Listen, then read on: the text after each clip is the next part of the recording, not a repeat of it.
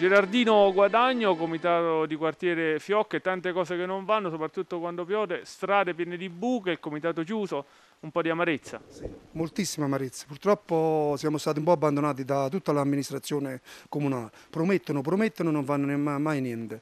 Quello che io vorrei non è che noi vogliamo cose dell'altro mondo, vogliamo cose che la zona eh, deve avere, sono, sono, obblighi che almeno l'amministrazione comunale dovrebbe avere verso di noi. Qui tutti pagano le tasse, ci sono molte aziende che lavorano e pagano le tasse. Purtroppo noi stiamo, siamo in un degrado, siamo nel 2021 e ancora si parla di queste, di queste assurdità.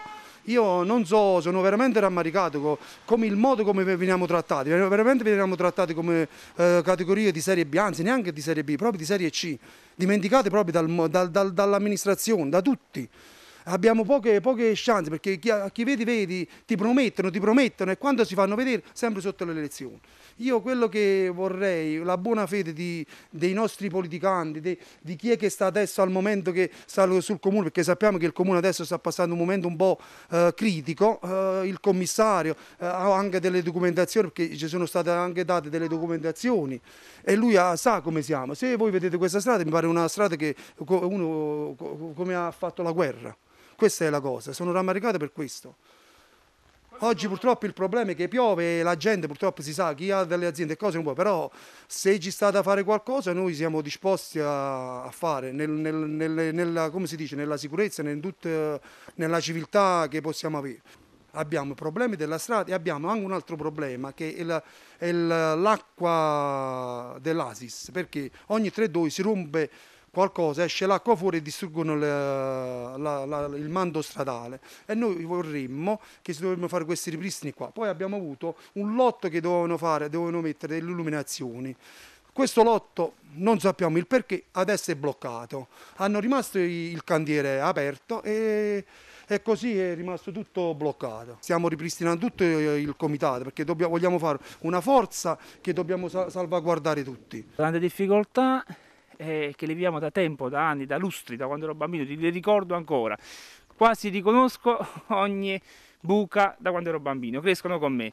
E quindi qui io penso che bisogna invitare non solo l'amministrazione, ma un po' tutti alla sensibilizzazione perché qui nella uh, zona di Fiocche è una zona periferica ma bisogna puntare soprattutto a quei uh, fondi come il recovery plan, quindi di uh, sostenimento, rivalutazione, valorizzazione delle aree interne, aree interne previste come anche aree periferiche, perché sono quelle aree che paradossalmente sono i uh, cuore pulsante dell'economia locale. Qui in questa zona, uh, Fiocchi, abbiamo delle aziende annoverate in tutta Europa che eh, hanno una filiera di prodotti unica, che partono dal seme. Sì, dal seme perché qui abbiamo alle nostre spalle una, un vivaio riconosciuto in tutta Italia, come dicevo, che produce il seme, la piantina la vende poi di conseguenza a tutte queste aziende. Queste aziende che producono un prodotto finito, ortaggio o frutto uh, commercializzato in tutta Europa e la cosa che fa male è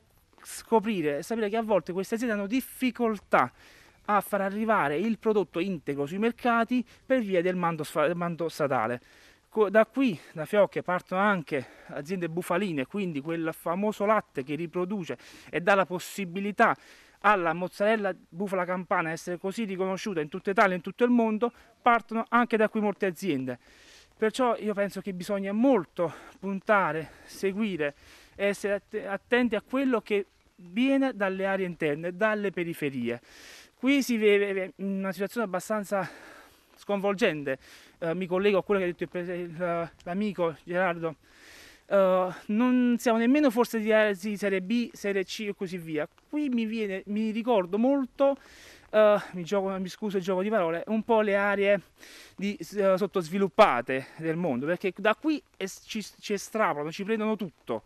Uh, diamo ricchezza ma non veniamo riconosciuti. Abbiamo il problema dei trasporti da quando siamo adolescenti per uh, collegarci alla città, al centro città, così alle altre città. Abbiamo il problema delle luminarie, poco fa abbiamo visto che abbiamo dei lavori interrotti eh, e eh, soprattutto il mando stradale. Quindi Uh, punti di ritrovo che sono ormai uh, finiti, bisogna lavorare anche uh, su punti di ritrovo come un tempo chi conosce la zona si ricorda la scuola eh, dove venivano addirittura ragazzi con le biciclette da Eboli per venire a giocare la domenica con noi, era un punto di aggregazione giovanile che purtroppo oggi è finito. Quindi bisogna guardare a quello che è possibile recuperare anche dall'Europa e da questi uh, fondi di uh, sviluppo.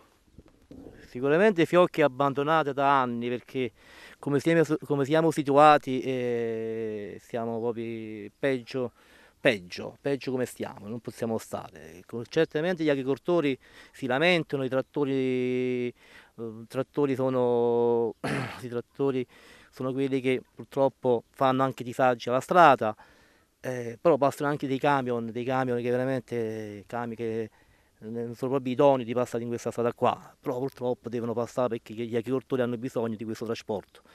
Però come, stiamo, come siamo situati non stiamo alla quale per bene. Perciò eh, telecamere non ce ne sono. Uh, telecamere, diceva che mettevano telecamere, non hanno messo telecamere. Uh, mi parlo della luce, non esistono più, hanno fatto dei lavori tempo fa, sono rimasti fermi così. Molti abitanti sono con la macchina rotta, non possono più camminare perché oggi giusto anche la macchina ci vogliono soldi. Abbiamo fatto anche richiesta al prefetto di Eboli, al commissario, però nessuna risposta ci hanno dato. Perciò eh, se è possibile di, di, fare qualcosa per questa zona, perché qua veramente siamo veramente al, al dirupio di tutto.